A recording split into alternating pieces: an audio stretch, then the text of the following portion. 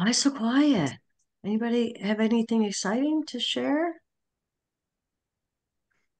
I I I looked at a video this morning on the internet. I don't know, I was scrolling through the whatever, and there was this video that um.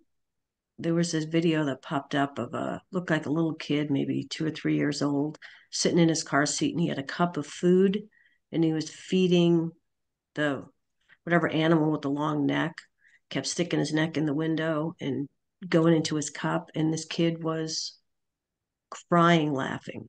So that's why I off my day. It was pretty funny. Just trying to get you guys just you guys should be all smiles. All right, we'll get going and we'll wait for Zoe. She can join when she gets here. So welcome to week four. As I stated a few minutes ago, um, first and foremost, congratulations on the exam scores.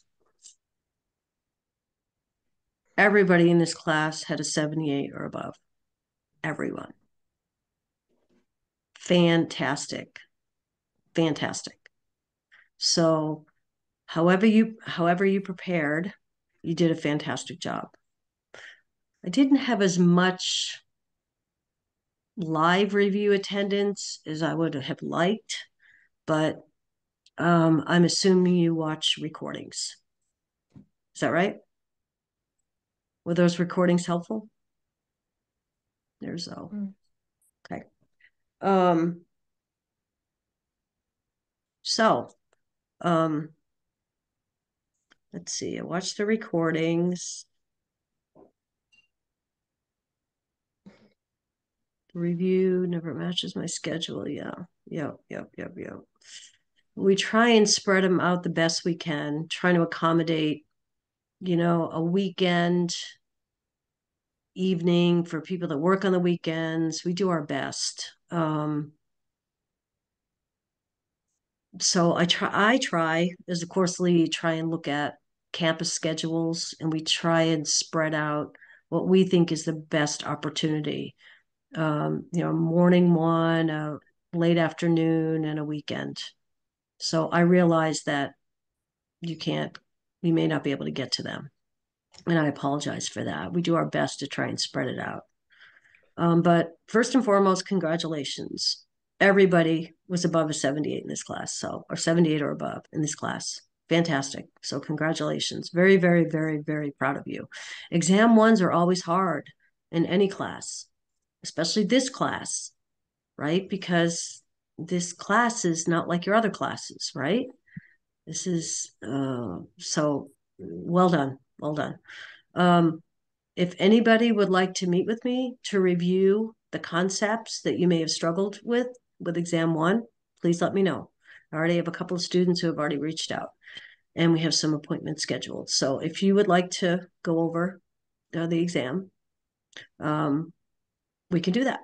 Okay. Um, the other thing is this week, week four, we always start our at risk meetings, they're called. Um, and I mention this because if your dean reaches out to you, um, you'll know what she's talking about. So, starting in week four, we um, submit at risk reports to campuses. Okay. These are students for a variety of reasons. Students that are either below a 78 with their KGA, whether there's homework issues um, that are identified early, attendance issues, identified early, quiz, low quiz scores. Okay. So I have submitted, all faculty does in all your classes. We we send reports to the dean and we actually meet every two weeks. Um, every campus meets every two weeks. Um, and so it's great because we get on a Zoom with your campus, your campus leadership, and talk about students and what we can do to help support students and what concerns we have.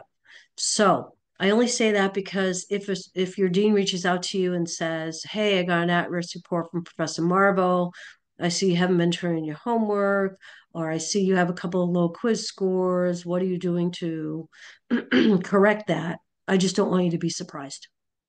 Okay, they're not they're not meant to be punitive. at all. They're meant to just identify any potential red flags early on that we need to get corrected early on. Okay? So nobody's tattletaling, nobody's throwing you under the bus. These are, it's a requirement as faculty. And we look at a lot of different things. Okay? You may not hear from your dean, you may hear from your dean. Okay? So FYI about that. Um, so first things first, I would like to do the quiz. Okay? There's a there's a, a general announcement in the quiz in the in the general box that says you're going to take the quiz. It's 10 questions. For this quiz, you need a calculator. Did everybody see that message?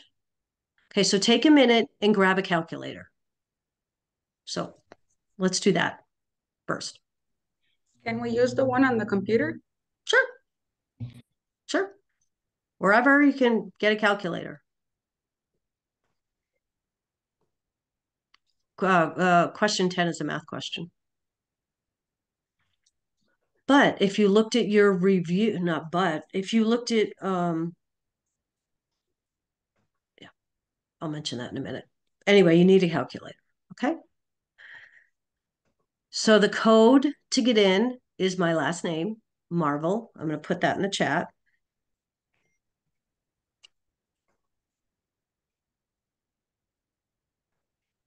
Okay, so let's do the quiz. It's 15 minutes. Uh, it is 106, so you'll get started 120, 125. So you got to stand cam you got to stand camera while you complete the quiz. Okay, and then after that, I wouldn't log off. Just stay logged on if you want to turn your camera off until we get back, get going again. We'll get going again at 125. And the one thing you'll see that's different in the quiz is um, rationales. Okay, if you got the answer correct, there'll be a rationale. If you got the answer incorrect, there'll be a rationale. They're actually the same rationales um, for correct and incorrect. And that's what we're going to review in detail when we come back. All righty. So it should be available. Can you guys get into it? All right.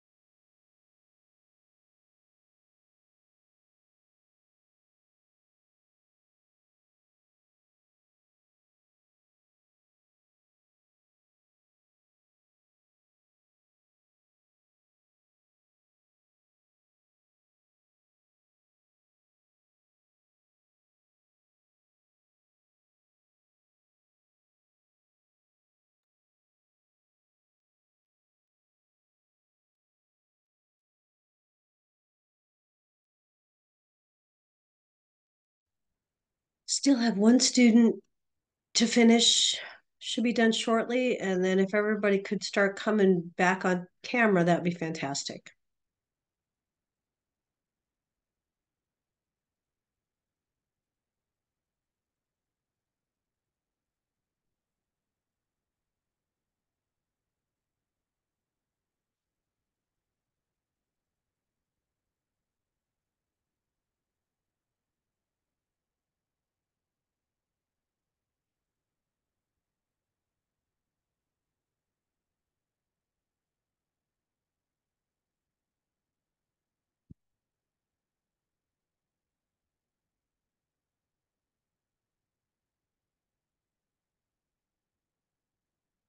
How'd you do? Did All right. Remember, quizzes are all about class preparation, right? We covered weeks three and four this week. There's a lot to, well, last week we had an exam, but a lot to cover. Oh, a lot to cover. We had six chapters 24, 25, 26 last week, and 4, 9, 30 this week. The other thing to remember about exam uh, quiz prep and coming to class prepared. I mentioned this, I think, in week two when I went through the book with you guys and showed you how to really hone in on the book and the chapters, right? I'll be a little bit more specific about the book. If you can answer the objectives, right? Let's say you read the objectives before you start the chapter, they're right at the beginning, and then you really hone in on where to find the content of those objectives, right? If after re- you review the chapter and you can go back and answer those objectives, then you have adequately covered the chapter. Does that make sense? Because the objectives are really a snapshot of the content, right? In the chapters. So if you read them at the beginning, as you're reading through the chapter, highlight where those, not answers, but where that content is that answers the objective. And then you go back and reread the objective ob- objectives. And if you can answer those questions after you reviewed the chapter, you're good. You should be good. Does that help? Okay. All right. Let's take a look at um, Christina. If you could come back on camera, that'd be great. Okay, I'm going to share my screen.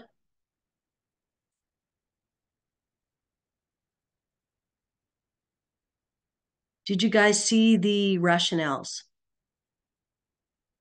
Did you like those? That is Professor Lundy, our course lead. She is just fantastic. And I, you know, having being the course lead in PN and teaching both RN and PN, I really, really like that idea of putting the putting the um rationales and I didn't do it for quiz one because I, I, really wasn't not aware. We talked about it and we talked about it freely after the quiz, but I think it's a fantastic idea to have these um, rationales in the quizzes. Now, just a question. If you got the, after you submitted question one, did the rationale come up or did they all come up at the end? They all come up, came up in the end. Uh, in the end. Okay, great. And so that's what we're going to be talking about. We're, so for the rest of the class, for the next hour, we're going to review the quiz and the rationales, right? And we're, then we're going to, I want to review a PowerPoint that um, it's a week three, four critical thinking PowerPoint review. Okay. And then after class, when I send you the recording, I'm going to send you that PowerPoint. So you have that. Okay, it's an excellent PowerPoint that one of our other teammates did for weeks three, four review. I'll send that to you with the recording. Okay. Um, and then I do want to do the case study at the end. That won't take long at all. Okay. So we had a lot of content rural migrant health, poverty, homelessness, teen pregnancy, mental illness, alcohol, tobacco, other drugs. That was week three. Government, the law, policy administration, or policy activism, faith community nurse. And then we reviewed the or you reviewed with your chapters the nurse in public health, home health, palliative care, and hospice. There's a lot of content to cover. Did you learn a lot as you prepared for weeks three and four? There's a lot to community nursing, and hopefully you're figuring that out really quickly, right? Um, it's just it's just a big umbrella with so much that uh, goes into community and public health nursing. So let's go ahead and, and go through the quiz. I pulled up the longer version of the quiz, kind of from my from my um, this is the way I see it. So it's going to look busy, but if you notice, if you got the answer correct or incorrect, the rationales were the same. So we'll go through that. Okay, so which of the following statements by the client indicates a lack of understanding regarding an appropriate reason to sue for professional negligence? Before we answer that question, in many of our at risk meetings this week that I've already had, um, a lot of exams have already been taken in a lot of classes. And some of the feedback that comes up is that the students did well on the quizzes. I'm not sure why they didn't do that great on the exams. And then the professors chime in and say, Well, I reviewed the exam with the students and they just weren't picking up on important words, cues, phrases in the questions. Okay, so um, so I can only see a few of you, but this isn't this is really important. Okay, I heard that over and over again in the last couple of days. When I review with the student, they didn't read the question correctly. Right? So um, I like to do my exam prep strategy teaching along with the quizzes because the quizzes are questions are a lot similar to the exams. So um, I don't know if I don't. Do you guys? There's two resources in ExamSoft. One is a highlighter. Have I already gone through this with you? Have I already gone through my little mantra for exam taking and question reading? Okay, so there's a highlighter and there's a cross out answers. So I know you guys did well on exam one, but I'm just going to repeat this. Okay. So I, I know my suggestion is you always read a question twice, whether it's a quiz question, exam question. Start by highlighting the any important words, cues, phrases in a question. Okay. Then go to the answers and use the underline and cross out whatever answers. This is your first go around. Then cross out whatever answers you know don't make sense. Right? So then when you go back and reread the question, you're going to have words highlighted, phrases highlighted, and you may only be choosing from two answers. Okay, so so this is a so question 1, what would you be highlighting in this question?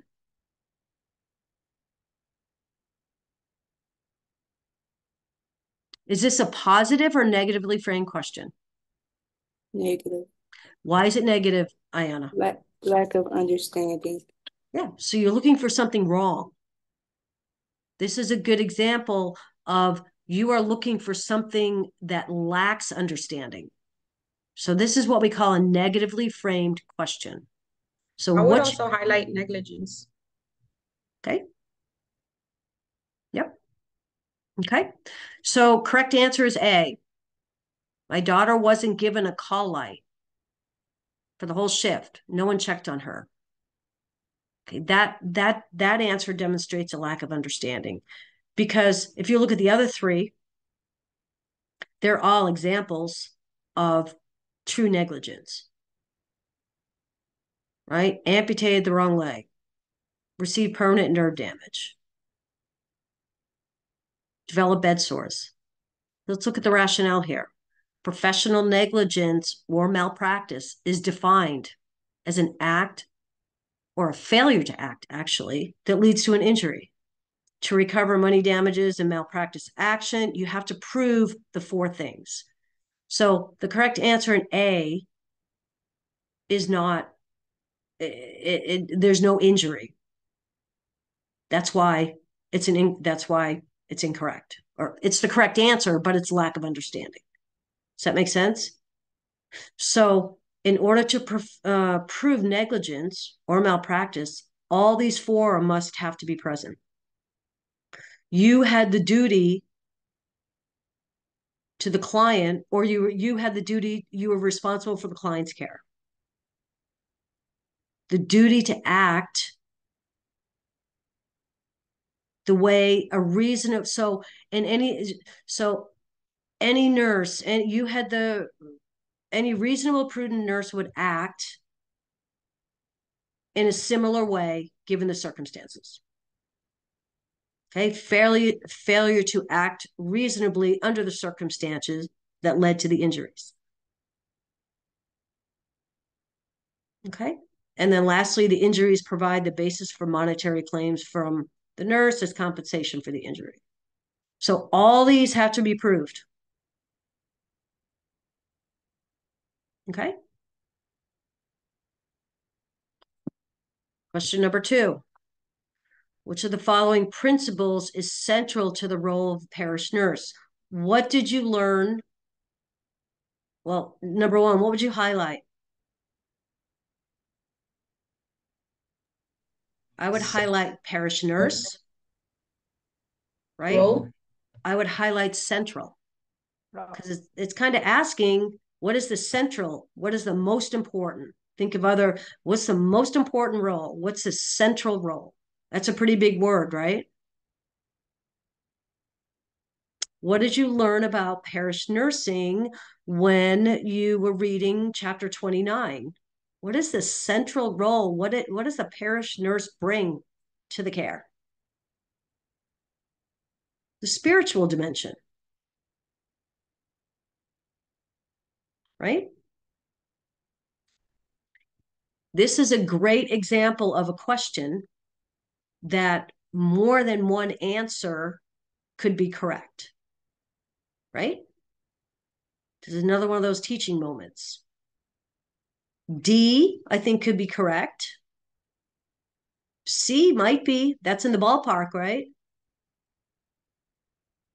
So this is a good example of a question that is not a select all that apply. So you only get to select one answer. But if you if you look and say, oh, I don't know, A looks to be correct, D could be correct, what and it's not a select all apply, what should you do? Go back and read the question. What did you miss? In this case, it would be central. What's the most important? role of the parish nurse. Make sense? So, what do we know about the faith community nurse? The nurse in the faith community is a licensed RN. She needs to have good, he or she needs to have good interpersonal skills, strong religious faith, strong sense of spirituality, and desire to call to serve the needs of the community. Okay. I did um, with additional education in spiritual care for for self, for individuals, for groups. They work in a con- uh, congregational setting. So whatever the desired goals and objectives are for the congregation, it will look different in every parish. Okay, maybe the maybe they want the parish nurse to do support groups for grieving families uh, if somebody has died for maybe they want the parish nurse to do support groups for prenatal education for new expecting parents maybe they want the the faith nurse to do well visits for teen new teen moms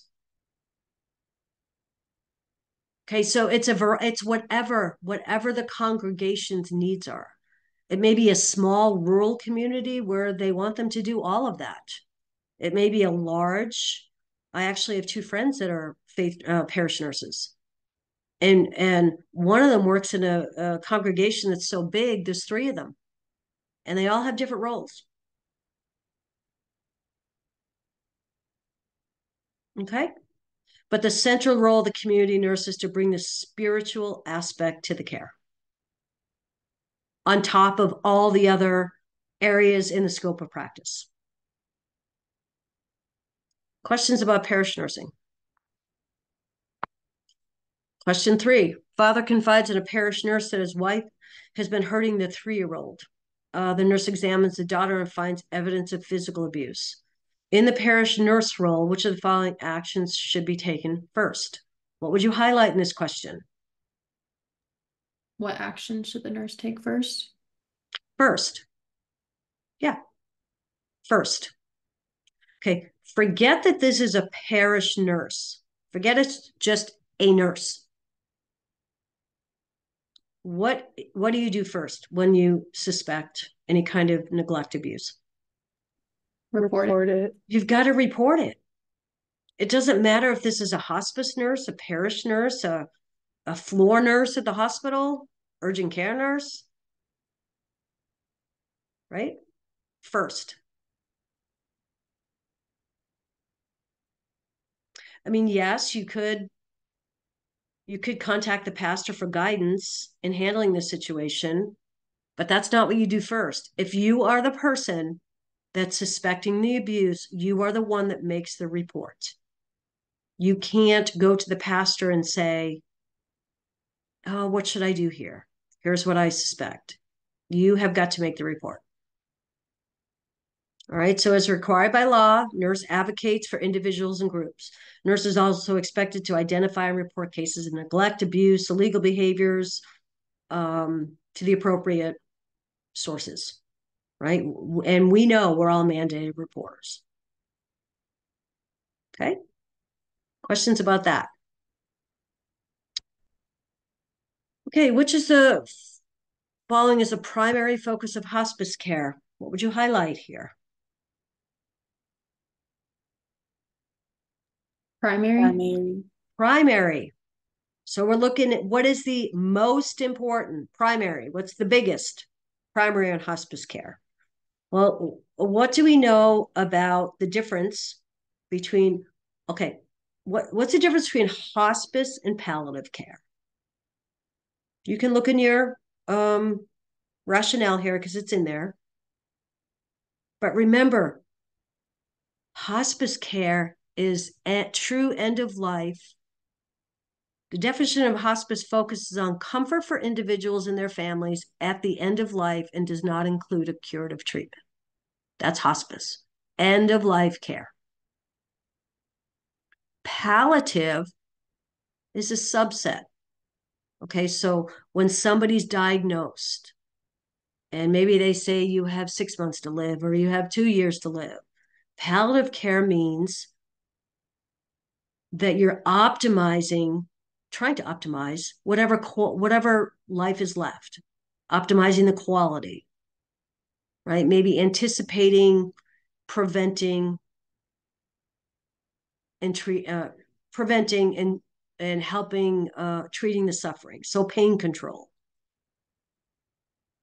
Right? Palliative care is throughout the continuum until they move into hospice care right. So in palliative care, well, and hospice as well, but we're addressing physical, intellectual, emotional, social, spiritual needs. Right. We're trying to give the patient some autonomy to make some decisions through this palliative process. Make sense? So, what's the primary focus of hospice care? Let's go back to the question.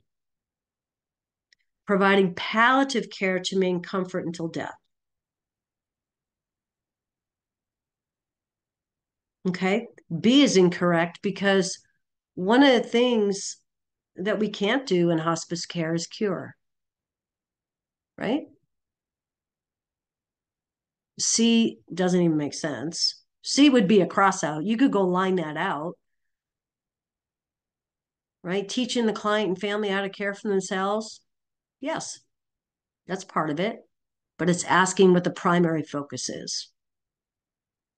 Right, so you could actually, if you were using the the highlighter and the underliner, you could have crossed out B and C.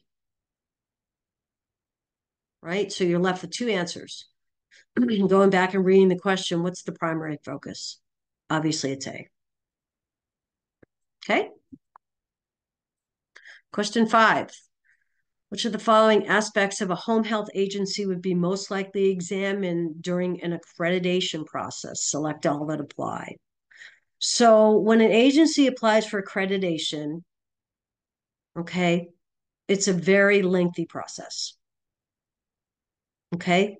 The things that are reviewed, the three things that are reviewed are organizational structure, compliance with Medicare, and what are the outcomes?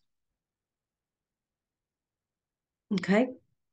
Site visit site visitors will accompany nurses or other providers on home visits to observe the steps they're doing.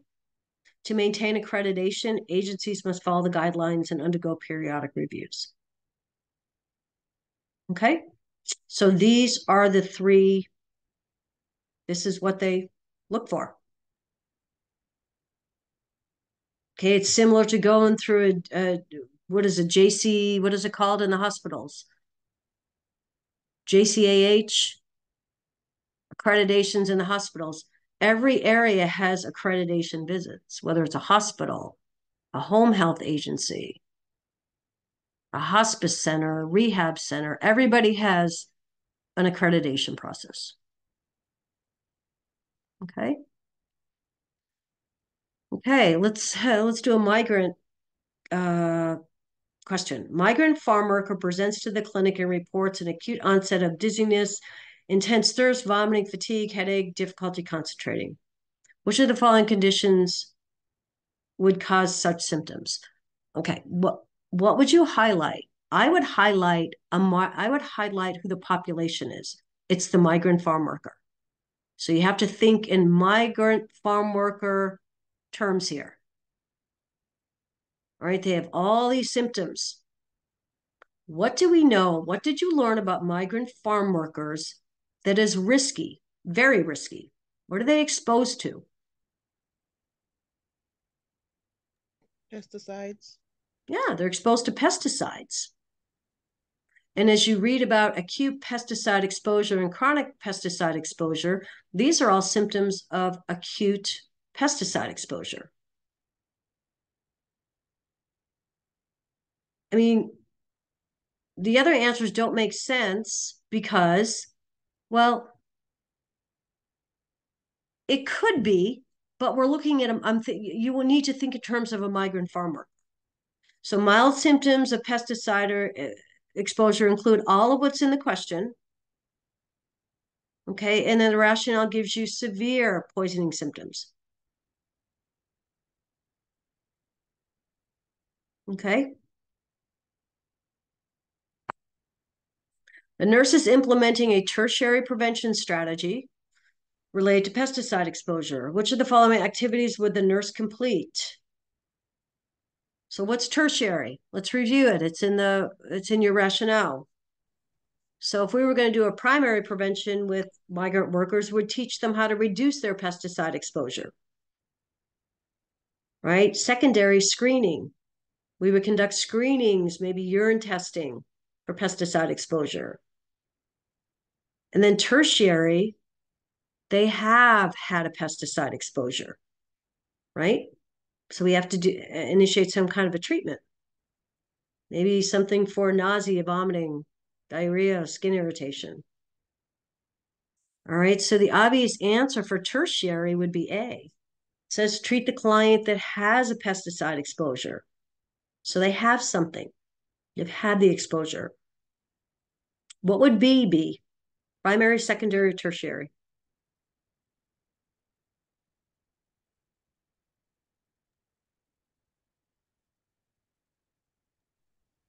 Primary. Primary. We're teaching them how to recognize. Okay. It hasn't happened yet. What about C? What's C?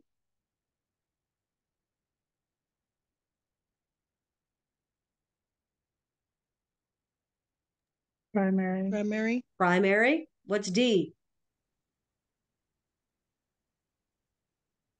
Secondary. Yeah, we're observing them. We're kind of screening them, aren't we?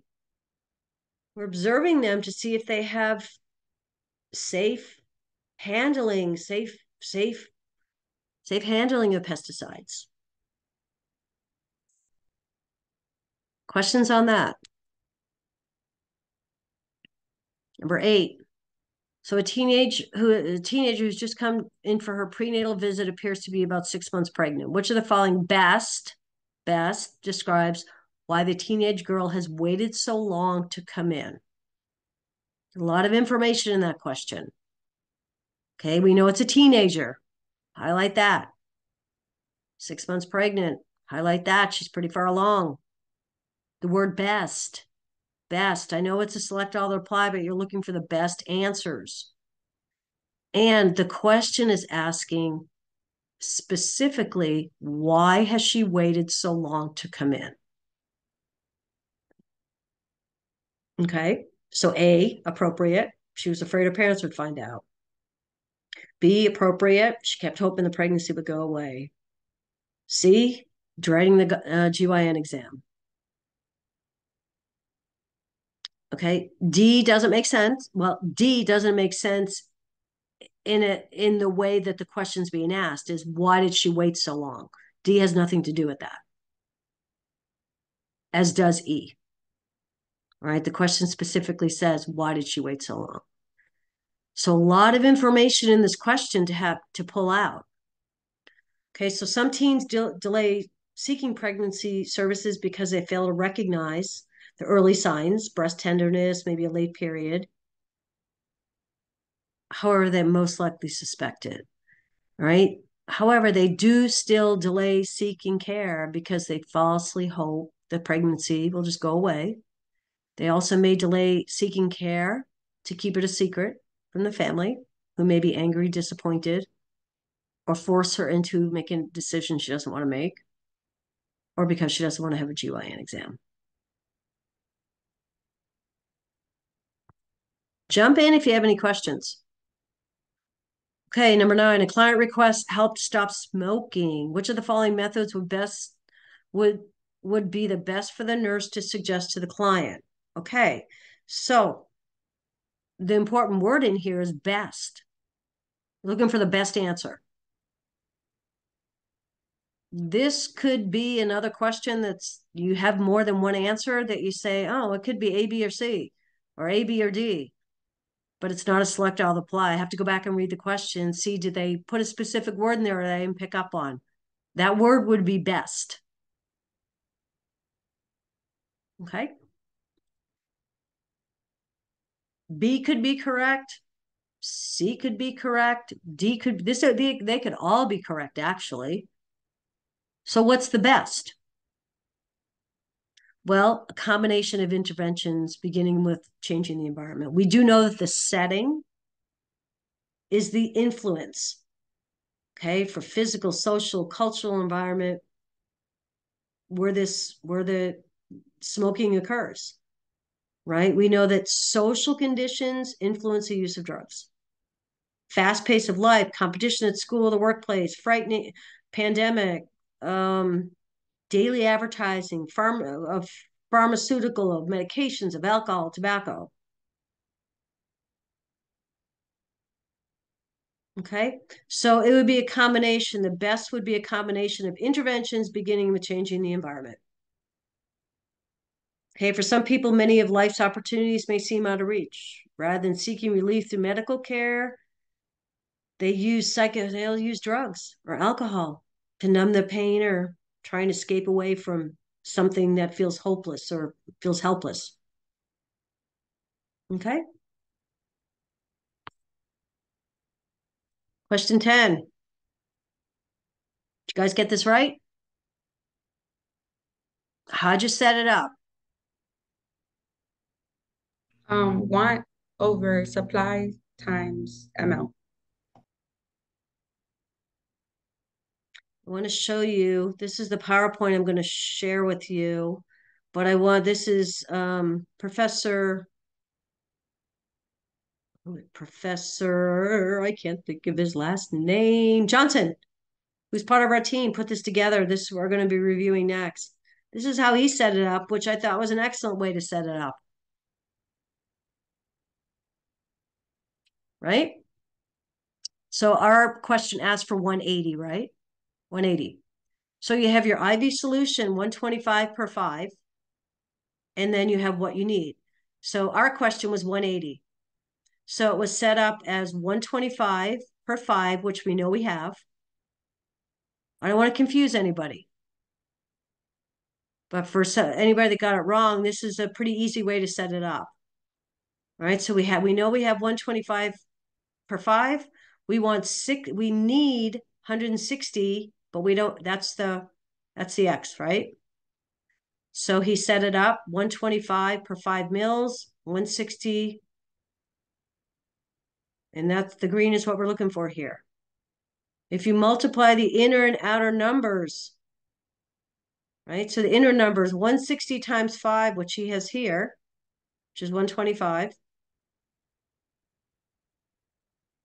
And then the outer numbers, we still have the y, right? So if you multiply 160 times 5, the inner numbers, you come up with 800.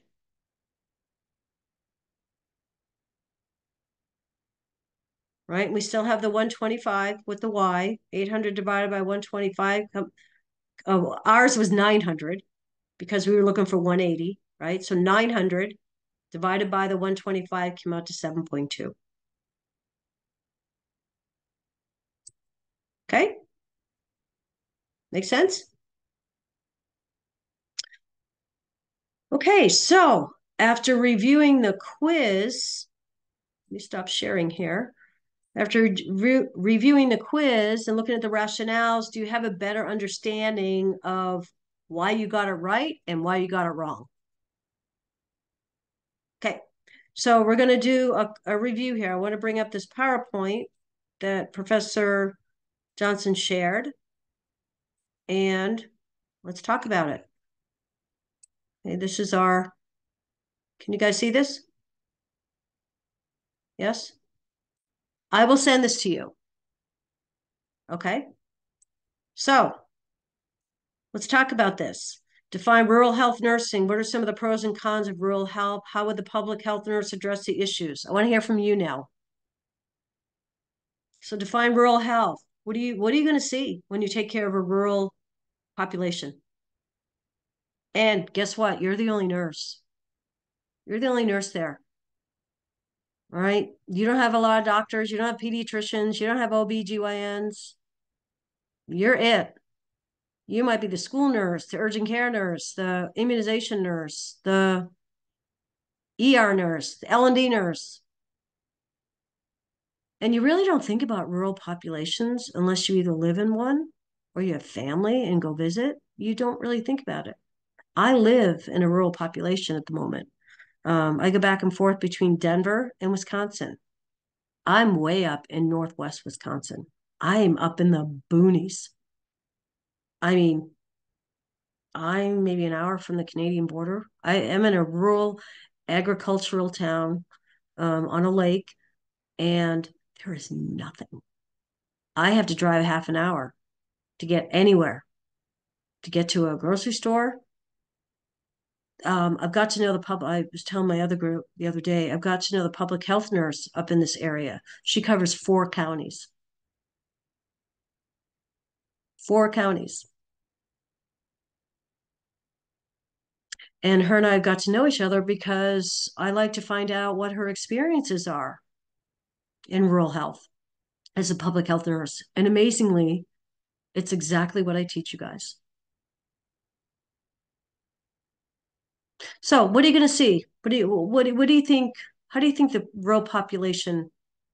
What do you think they're? Uh, what do you think they think about healthcare? Do they prioritize it? No. Why? There's not a lot of options for them to go to. Right. They feel good. Why go to a doctor? Right. Plus, they might have to travel. Remember, a lot of rural a lot of people in the rural populations don't have insurance or they're very underinsured. So they're not going to seek out their primary primary cares. Right? A lot of populations in the in the rural areas uh, work in work maybe hour kind of like the migrants, work hourly jobs, daily paying jobs. They have to take a day off to go travel to the cities for a specialist. They lose a day of pay. Right? Very limited resources in the rural community. You might have a nurse practitioner, a public health nurse, you might have a family doctor. As far as all the specialties, pediatricians and and OBGYNs and neurologists and orthopedics, you got to travel. I'm in between Duluth and Eau Claire. So those are the two cities I'll be going to. Eat they're uh, two hours away, both ways. Okay. Um, what are some pros though? What are some pros of rural health? Okay, you do get to know your patients, right? You do, because you're the only one there, right? You have autonomy. Okay. Um, yes, it's hard because you have to have all your tools in the toolbox. You could be caring for kids all the way to the elderly. One of the things that's pretty prevalent in rural communities is chronic illness. And that's because they don't prioritize their care. Right? Barriers.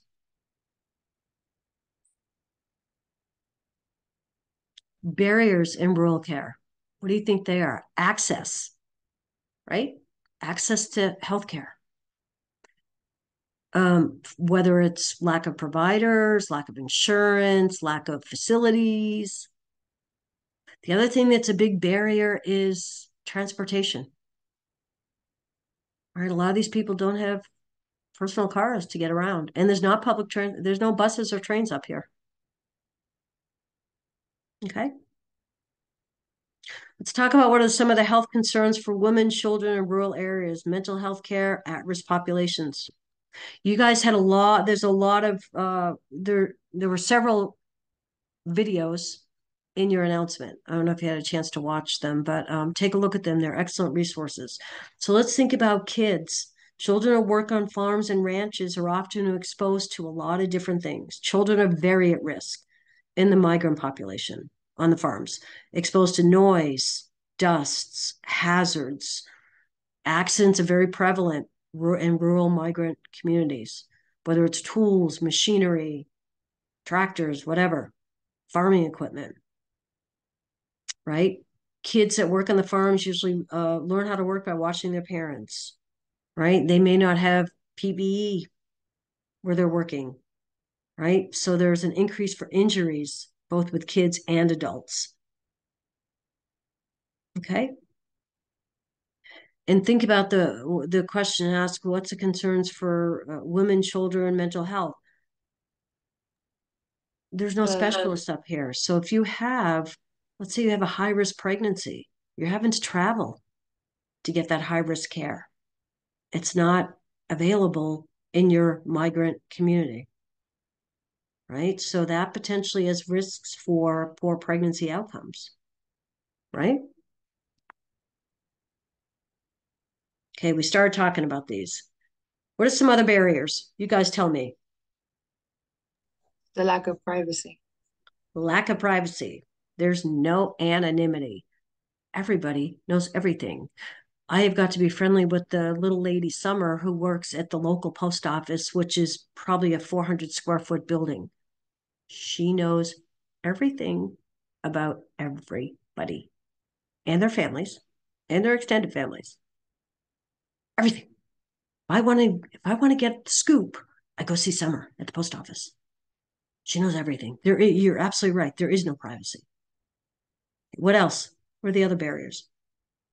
We talked about transportation, the internet, internet issues broadband broadband issues. They're really working on it, and I see as I'm driving up here, I see a lot of they're laying lots of cable. They're trying to get the uh, they have government grants to try and get internet services all around here so everybody has access because once you have access good access to internet you can you won't maybe you don't have to travel two hours down to the cities maybe you can do your telehealth visits meet with your doctor online right we talked about outreach services uh, it's very limited um unpredictable weather, travel conditions. You know, maybe if they don't have insurance, they can't pay for a visit out of pocket. Okay.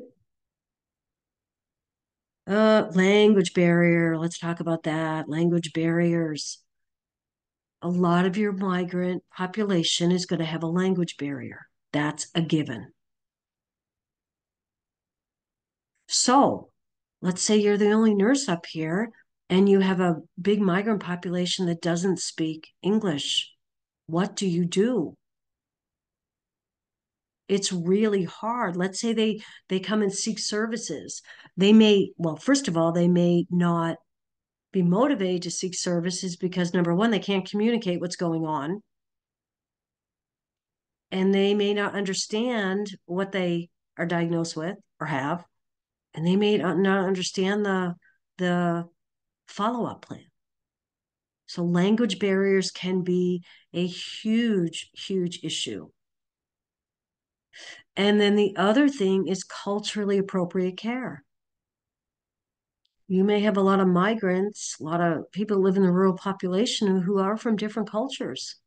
And remember you're the only one up there. You're the only one. So we have to do a really good job in being culturally knowledgeable about different cultures. You know, if you have a particular, let's say, Mexican culture that's prevalent working on the farms, best you know what migrant, what the culture is with regards to how they feel about working, how they feel their culture, what are their attitudes, what are their beliefs, what are their practices. Okay, we start talking about this migrant workers, where are they exposed to, and again, you're going to receive this PowerPoint. Uh, how would you do prevention levels? Well, how do you do prevention levels? That's that was one of your quiz questions. You teach them how how to you teach them the signs and symptoms of pesticide exposures. Okay. What are the okay? Let's jump to homelessness. What are the effects of homelessness on health? What do you think? What is homelessness? If you're homeless, are you, is the only definition of homeless living on the street? What did you learn about homelessness? Who can be homeless? Anyone. Anyone. You could be, well, I saw this during the pandemic in the schools many people had to sell their homes they lost jobs they had to move in with family let's say you move in with a family but you don't have a place to go that's a permanent address that's considered homeless okay it's a person who lacks fixed regular adequate residence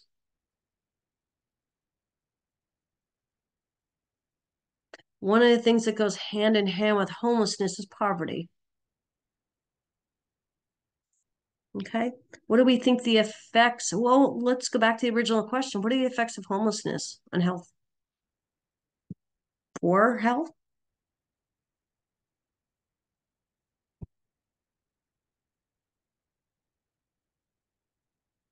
How do you think the homeless look at their health? Is their primary health, their prevention health a priority? They have clinics they can walk to and go down the street and go to their primary care visit? No their health is going to be poorer. They'll be they well homeless people tend to finally seek care when they get desperate and they go to the emergency rooms. You're not going to see them in the primary care clinics. Okay? Let's talk about poverty here. Poverty, poverty, homelessness affect health and well-being. We know homelessness does. Lots of risks with the homelessness with health. A lot of um, back to homeless again, chronic conditions. skin conditions, maybe from heat, cold exposure, mental health, substance abuse, violence, domestic violence, abuse. Okay? Poverty. Poverty directly affects the health and well being. Okay? How does poverty affect health? Higher rates of chronic illness, higher morbidity and mortality, definitely a shorter life expectancy. Okay? Whoops. How else is poverty going to affect your health? What do you think? Come on, you guys are quiet. I don't want to listen your, to myself your mental, Go ahead. your mental status? Affect mental status? Yeah, Well, because like Affect your mental health, like- sure. Mhm, yeah, Is that what you mean? yeah, your mental health, sorry. Yeah, yeah, your mental health. I mean, you live in a, think about it. Think about an individual. Remember our community. When we're working in the community, we could be working with an individual, a family, or a subset of the community. Think about an individual who lives in poverty, a family who lives in poverty, You can or the community who lives in um, poverty. What is that going to affect? Everything. you get more chronic illnesses. Yeah. Chronic illnesses, you may have less access to nutrition, nutritional resources, less access to healthcare, less access to They're um, also more like prone to get infections because they don't have like cleanliness and stuff. exactly. Yeah, think about if you live in a community that is a high rate of poverty. Yeah, maybe there's crowded living conditions, tuberculosis. That's high risk of TB, high risk of obesity, high risk of violence, high risk of abuse. Okay, what's the difference between Medicare and Medicaid? Here's the way I remember it. Go ahead, you guys tell me. I'll give you- Medicare is for 65 and up, and then Medicaid is for like people who don't have that much like um money or as Needs much based. money. as- low That's exactly right. That's exactly right. So Ivana just gave you the definition. You do need to know the difference between Medicare and Medicaid. All right, they're both federal programs. Like Ivana said, 65 and older. And then Medicaid is needs based. Okay.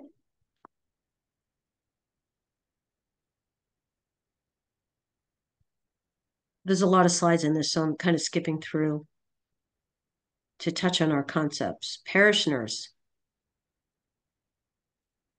I like this one. All right, so what are some of the qualities a parish nurse needs to have in order to care for their community? I think med surg, mental health, spirituality, define parish nursing. We've kind of already done that with the quiz question, but parish nurse could be taking care of anybody, could be taking care of clients that need wound care, clients that need IV therapy. Um, they're just not going to the visit. They're just not going to offer the spiritual side. They're actually going to probably do some illness care. I don't know, IVs, wounds, medication checks. And when they're there, they add the uh, spiritual side to it, right? So they're looking at the whole person. All right. So you do have to have your med surg skills. You do have to have your mental mental health skills. A focus on spirituality. We taught we already talked about what parish nursing is.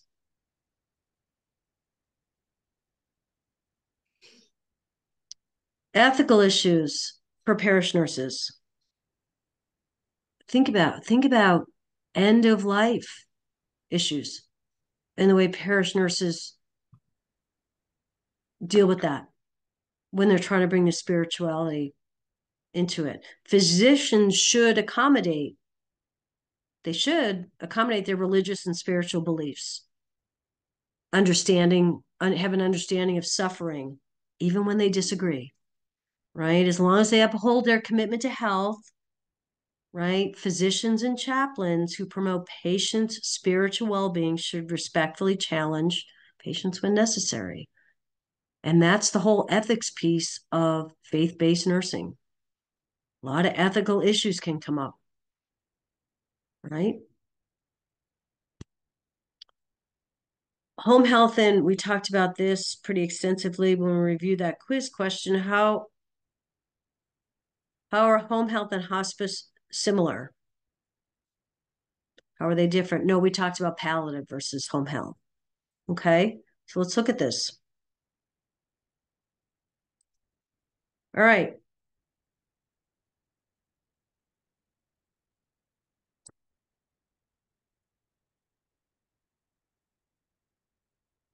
There are notes. I'm not going to go through this one, but there are notes at the bottom of all of these um, slides for you to read through. But let's just talk. I'm not going to go through all these notes. That's a lot of reading. How how's home health and hospice similar? How are they different? How are they similar? Where are we providing the care? At home, Yeah. like, mm, At I don't know. home. How are they different? Because one necessarily doesn't have to be like in the end of life stage, and then Exactly. hospice is kind of like end of life. Exactly. Exactly. Exactly. Anybody want to add to what Ivana said? It's exactly right.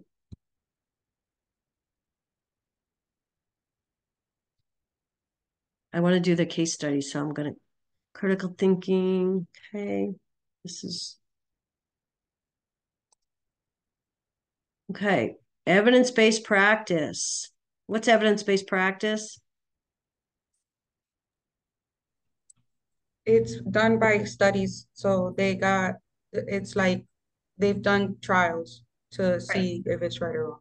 Okay, but what is evidence-based practice? Because our nursing profession should be practicing ev- our practice should be based on evidence-based practice. Um, using the most up-to-date information. Exactly. Casey, and did you say that? Yes, I can't see your face. I can only see your forehead. I'm sorry. Excellent. That's exactly what it is. Say that again. Using say that again, Casey. Using the most up-to-date information to practice. That's exactly right. Whether it, it comes from our research journals, from clinical trials, from research, whatever whatever area of nursing you're working in, we should all be using evidence-based practice. Right? So maybe 2 years ago you work on a stroke unit, 2 years ago the patients are staying for 2 weeks. Maybe now they're st- they maybe now they're staying a week. That decrease in week was probably based on evidence-based practice. How could we do things better, more efficiently, maybe co- more cost-effective, but still maintaining um, the best outcome for the client? Right? Does that make sense? Does anybody work with anybody that has ever said, uh, we've been doing it like this for 30 years. It's we don't need to change anything. Does anybody work with anybody like that? I do. Right?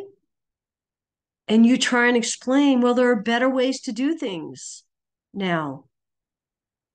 Whether it's a better medication or a better way to get the patient out of bed or a better way or a sooner, let's say you have a patient with cardiac surgery. Well, now you try and get them out of bed that first evening, right? At least sit in the chair. Well, that was never like that before. But you have that employee that says, "Oh, you know, I'm just not comfortable doing that." That was a it's hard. Changing practices, changing changing up the way you do things can be hard. But evidence-based practice should be the primary focus. Always updating and using the best available. I mean, look at the beginning of the pandemic, right? Of COVID. We didn't have a clue what we were doing, right? But as time went on, we learned to care for people more efficiently, right? We maybe decrease the number of hospitalizations, saying we could take care of a patient better at home. I can speak for the schools. I, I was in the schools the full two years of the pandemic. At the very beginning, we were clueless. But then we started, we had research, we had data, we had experience. We could manage classrooms better, manage school buildings better. Okay.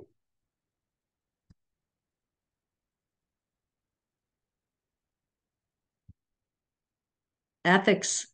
Ethical issues can occur in any situation. We have ethical issues that come up in our life every single day. They're not just work related. We have ethical issues that come up within our families. We have ethical issues that come up within our relationships, in our workplace, in the school environment. Right? Ethics is what's right. Right? Righteousness. What is the right thing to do? Ethical issues can occur in any situation where moral questions arise. Is it right or is it wrong? And ethics takes us through our whole life in all of our different facets of life personal, professional. Okay. But in nursing, what do we do that's right that will benefit the care of the patients? What is morally right? Ethics are morals.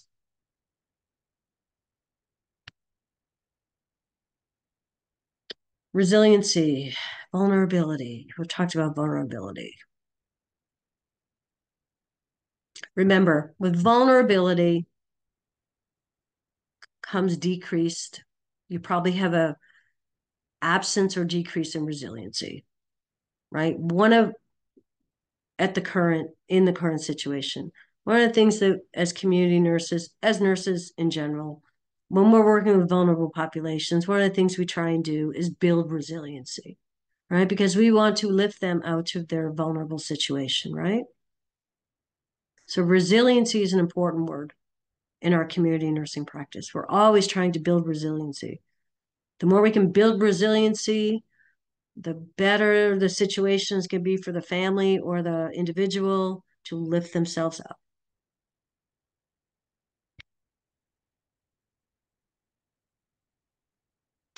Okay. That was our math question. Okay. So, is that a good overview of all the stuff we're supposed to cover this today? Yes. You have a better you. understanding of everything?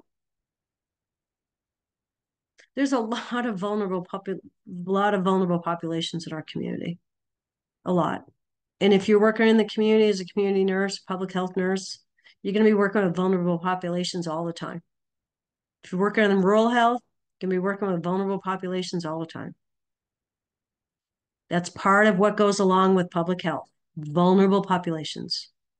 It's great if you if you are in a position in the public health department to be community oriented, do community oriented nursing, taking a look at the whole community. Wow, what's the health? What's the current health status of the community? What do they need? What are their need? Uh, what do they need? What health health education do they need? What's the overall assessment of the community? That's great. That's great. But most of the time, we're we're in community based nursing, right? Where we're already taking care of the vulnerable. And we just went through lots of vulnerable populations and lots of risks that these people have. Okay. All right. I'm going to break you guys out into three groups real quick. Some you guys pull up on your computer or somebody pull up, pull up on your computer that case study. I sent it in the announcement. Room one is going to answer question one. Room two is going to answer question two. Room three is going to answer question three. And it's a migrant slash rural case study. We're just going to be in a room for five minutes. And then you guys talk about as a group, come up with your answer, and then we'll come back and we'll go through the answers and then we're done. How's that sound? All right. So here you go.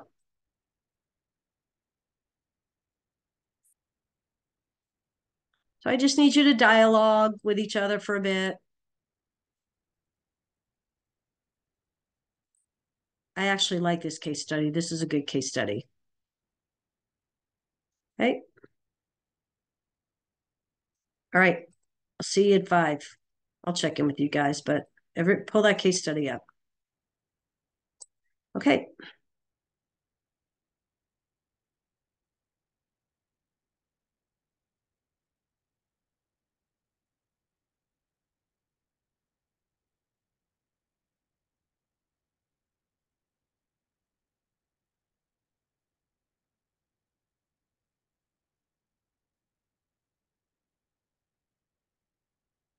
Christina, you gonna join your group?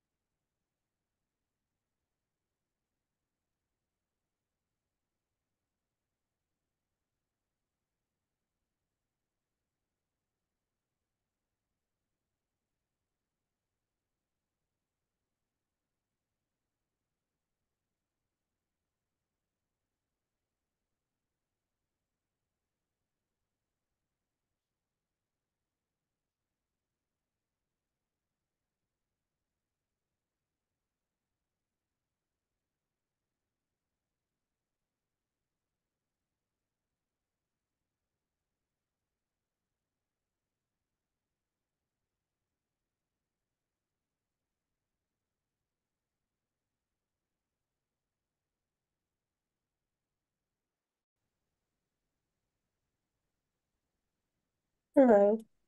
It's awful quiet in here. Did you already come up with your Yeah. answer? No. We're I'm reading it. I'm trying to. Well, you out better read quick because we're coming out in a couple couple of minutes. Just answer question one. Um, I think it's C. Yeah, I was between C or or A.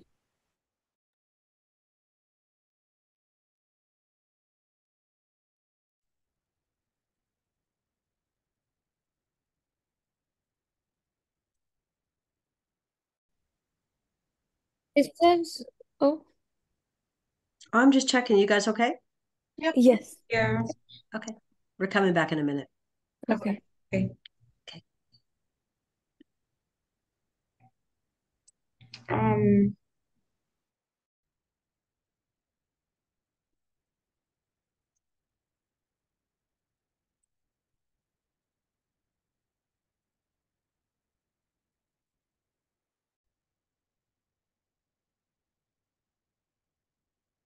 It's awful quiet in here. Did you guys figure out your answer? Yeah, I think we're all deciding on C, D, and E. Yeah. Great. Mhm. Okay. We're all coming back now. Thank you.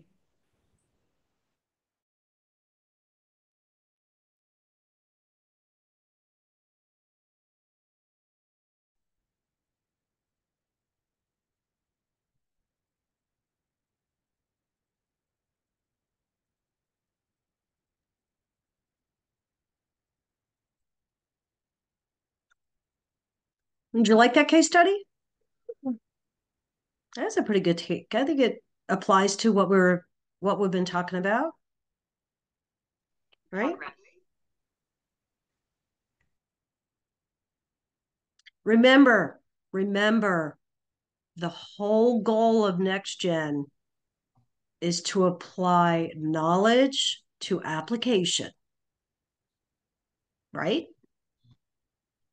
That's what it's all about. So with your NCLEX, with your CJ Sims, you can see their clinical, not so much NCLEX, but CJ Sims, clinical, applying knowledge to cl- clinical, right? That's what this is all about. All right, I'm going to pull this up and I will actually send you guys this as well. This is the instructor case study. So it gives you the answer and it gives you the rationale. All right, so I'm going to send you this to you as well so you can read through it.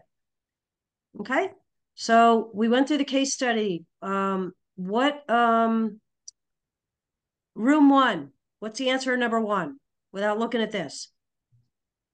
Did you We come up with C? C, yes, we You decided did come, great. And we talked about that, right? The question is asking specifically about the actual nurse, right? Not a client, but the nurse. What are the challenges? Right? We talked about this isolation, limited opportunities. There's nobody around to talk to.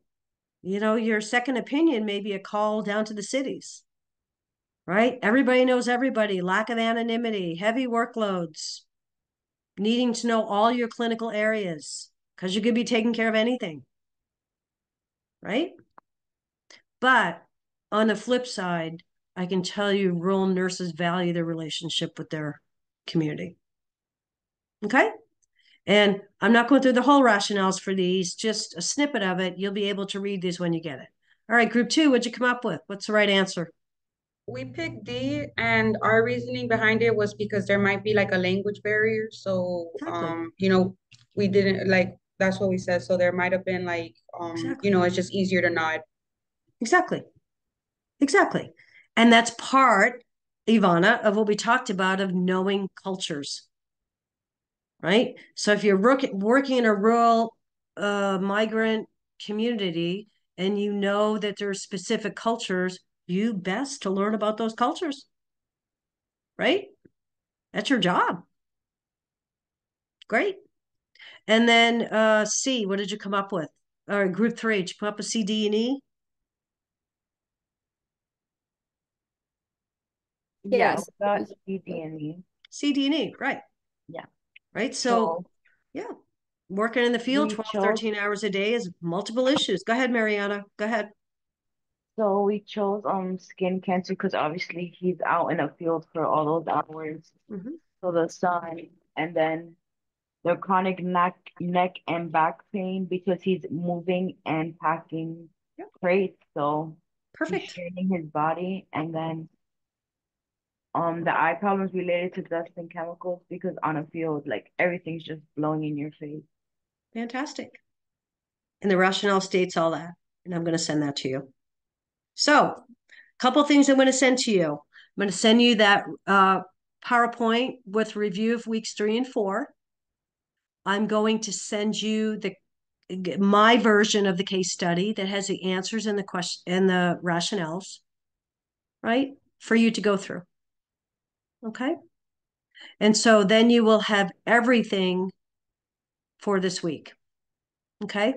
Um, I feel bad I didn't send the rest of the PowerPoint before, but I, I didn't really know I had access to it. So until a couple days ago.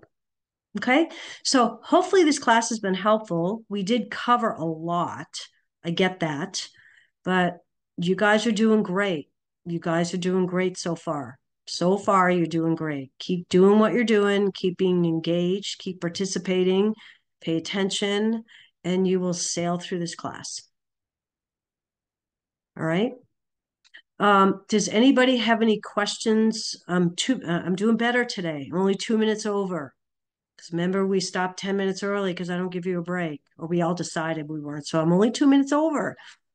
So if anybody has any questions that will benefit the whole group, please ask now. If you have particular questions that can wait, um, you just stay on after and I will answer them.